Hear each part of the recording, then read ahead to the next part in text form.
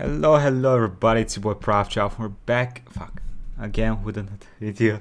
Anyway, this is the craziest dictator you've never heard of. How do you...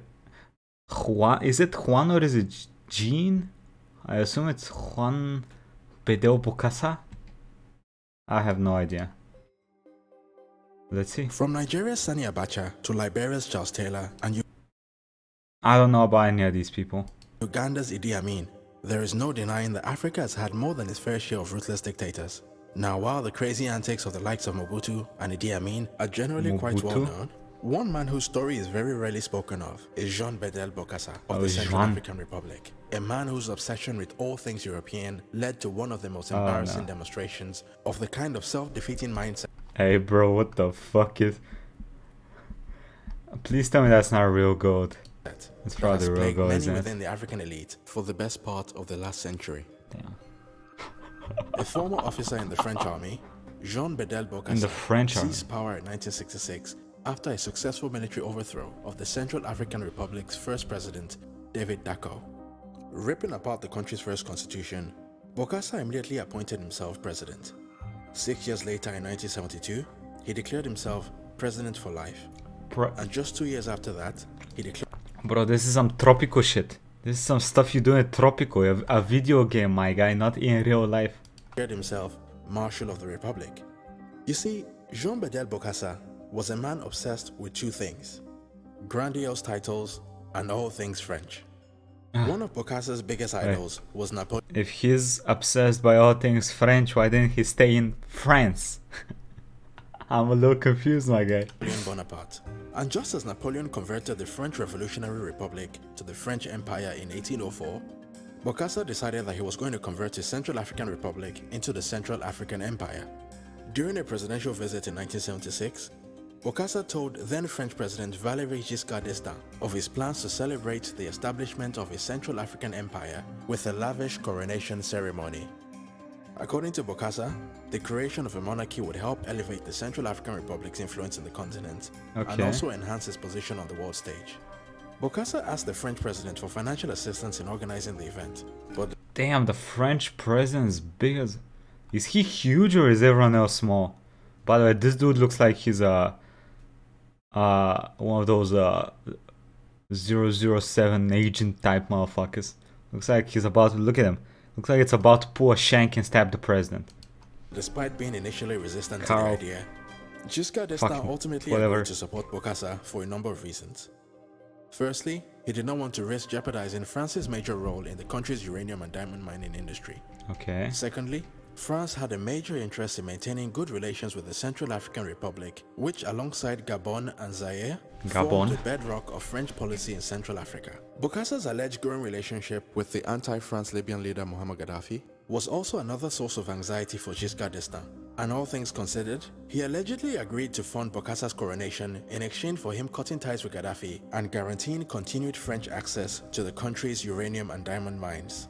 With the financial backing of the French government, Bokassa's grand coronation Wait. would take place on the Did this fucking guy just sell off most of his. of the country he rules, you know, exports for a lavish coronation? 4th of December 1977, a date he chose as it marked the 173rd anniversary of Napoleon's grand coronation in 1804. Bokassa's coronation would cost an estimated $30 million, which amounted to just over one quarter of the government's annual budget, and would ultimately go down as one of the most wasteful and embarrassing Oi! Over a quarter of the government's annual budget. events in African history. In preparation for the event, a government committee was set up to completely transform the country's capital of Bangui. The streets were scrubbed clean, old buildings were repainted, and beggars were driven out of sight. Uh-huh. Renowned French sculptor Olivier Brice was commissioned to design Bokassa's imperial throne, and a team of 30 French artisans were hired to build the gold-plated bronze throne worth an estimated $2.5 million. Eight white horses were imported from Belgium to pull Bokassa's royal carriage, which was sourced from the south of Wait. France. And over Bro, he looks like a kid inside of the carriage. Look at him. he looks like a kid inside of this. What? Bokassa's royal carriage, which was sourced from the south of France. And over a dozen more horses were imported from the French city of Normandy to carry the royal horsemen that accompanied his carriage. The very same 200-year-old French company that had embroidered Napoleon's uniforms was commissioned to create Bokassa's coronation attire in association with Italian-French designer Pierre Cardin. 13 different outfits were ordered, costing a total of $145,000. Bokassa's coronation gown alone reportedly cost over $72,000, and his Damn. imperial crown was produced by a French jeweler which was founded under the reign of Napoleon. Along with his imperial scepter and sword, and other bits and pieces, Bokassa reportedly spent around $5 million just on jewelry Oi! to ensure that his guests were driven around the city of Bangui in style and comfort. Oi. 60 brand new Mercedes-Benz vehicles were ordered from Germany. But as the Central African Republic is a landlocked country, the cars had to be first shipped to neighboring Cameroon before being flown over the Central African forest to the country's capital of Bangui at a cost of 5,000 5k per vehicle. Bokassa wanted Okay, when was this? Wait, coronation. when was this? This was in the nine. 1900s, right? 19 something, the start?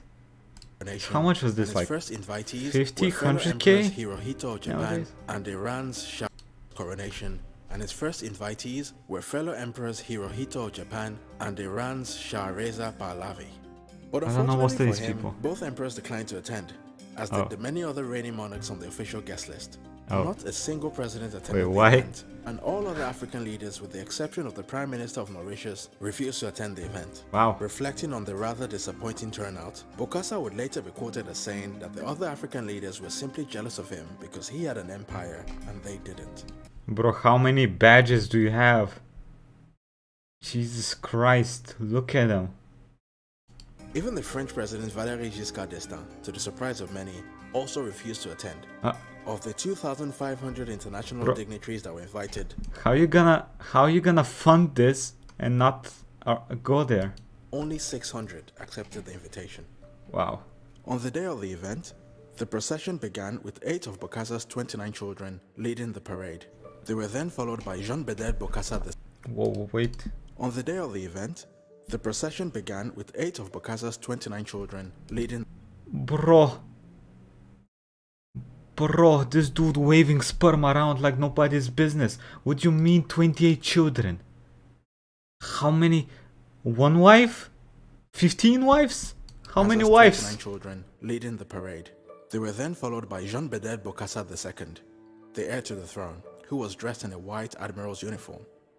Catherine Denguiadé, the Wait, favorite an among Bokassa's nine wives, then walked up to the Oh, okay, to be okay, crowned. okay. Nine wives makes more sense. I was like, Jesus Christ! If if he if one uh, if one woman gave birth to twenty eight children, Jesus Christ, she can fit a watermelon down there. But nine wives, okay. Empress of Central Fair enough. Africa, just before Bokassa himself was invited to walk across the 80 meter red carpet for his official coronation.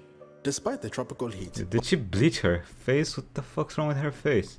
Bokassa was dressed in a floor-length velvet gown decorated with 785,000 tiny pearls Bro, he's got a carpet. million crystal beads. Across his He's got a carpet cape. My guy has a carpet cape. Where does it go from uh, Africa to France? brow, he wore a golden laurel just like his hero Napoleon. Bro, When it was time for the official coronation, Bokassa removed his golden What else did he do just like Napoleon? Did he fail an invasion of uh, Russia as well? laurel and placed the emperor's crown on his own head, exactly as his hero Napoleon had done at his coronation back in 1804. With the crown on his head, he was then presented with a gold-plated sword, along with a huge diamond scepter. And at exactly 10:43 a.m. on December the 4th, 1977, Jean Bedel Bokassa was officially proclaimed Emperor of Central Africa by the will of the Central African people united within the National Political Party, the Movement for the Social Evolution of Black Africa. By the end of this shameful coronation, Bokassa had spent the equivalent of one quarter of the empire's annual budget just on his coronation.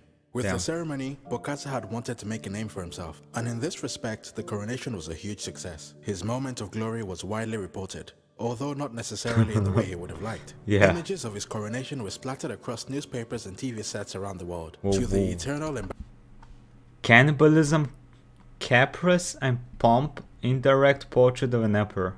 With cannibalism? embarrassment of his countrymen and his continent.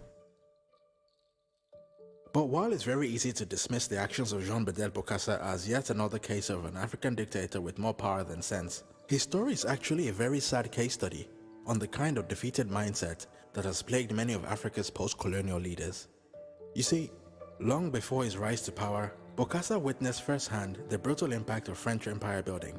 His father, Mindogon Bokassa, was killed for staging a village rebellion against the French colonial authorities, and at the tender age of six, Jean Bedel Bokassa witnessed his own father's death at the hands of the French colonial authorities. Hmm. His devastated mother was reported to have committed Damn. suicide just one week later, leaving behind Twelve Jean Bedel. Bokassa and his 11 siblings. Jeez. But rather than turn him against the French authorities, this traumatic experience may have had the opposite effect on Bokassa, as it seemed to ingrain a Bruh, why does this dude look like he's gonna be sleeping on the couch tonight?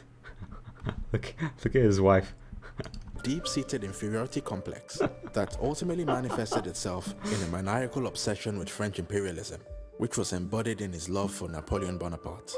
From the age of 18, Bokassa would dedicate his life to furthering French interests, as he joined the French Free Forces and fought for the French government on deployments to Indochina and Algeria. I mean- efforts in the I'm pretty sure this means he's very highly decorated, right? Like, there's a lot of shit in here. I, I'm not, I don't know military stuff, but I'm pretty sure this means he's pretty high ranked, right? French army would earn him awards, medals, as well as Yeah. French nationality. Bokassa would often boast of his achievements in the French army, and on multiple occasions, he was quoted as saying that he was above all things a French soldier and a friend of France. But rather ironically, it was his so-called friend Valéry Giscard d'Estaing, the very same man that had sponsored his coronation, that would bring an end to his 13-year stint as Oh. leader of the Central African Republic. Just two years after his grand coronation, Jean Bedel Bokassa was forced out of power, and former President David Dacko was reinstated in a military coup which was allegedly backed by the Giscard d'Estaing administration. Regardless of the deep-seated psychological issues that influence his behavior, it is very hard to defend the actions of John Bedel Bokassa. But nevertheless, his story will always serve as an illustration of why the next generation of African leaders must adopt a new and this shit? authentic mindset. Wait, did he do anything? Besides, you know, spend most Once of the again, cash on the coronation. for New Africa. If you've enjoyed this video and would like to see more content That's like this, cool. then please help support our growth by liking and sharing this video and also subscribing to our Patreon at www.patreon.com slash newafrica. Thanks again for all your support and until next time. This is every rapper when they get their first recording contract. Jesus Christ. anyway, a quick thank you to all the Patreons and YouTube members. Uh, so what do you guys think? Should we check out some more, uh, some more uh, dictators, some more stories about crazy dictators? Uh, just from watching this video, I realized that I actually don't know anything about dictators. So what do y'all think? Should we check out some more? And if so, tell me what and whom. Okay. Anyway, see y'all. Have a nice day, everybody. Oh, by the way, we're starting some Yakuza today, so come join me for that if you want. Bye bye.